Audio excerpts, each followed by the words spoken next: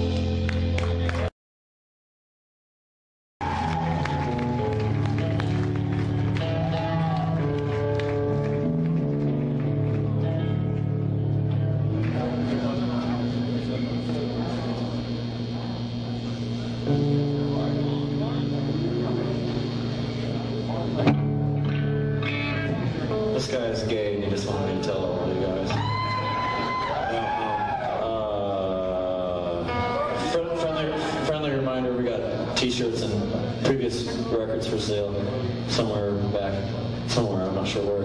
And uh, probably we got some Mercury Rev shirts too. They're pretty cool, so you can check that out. And this is our last song, and I appreciate you um, sticking around on, on a school night. So.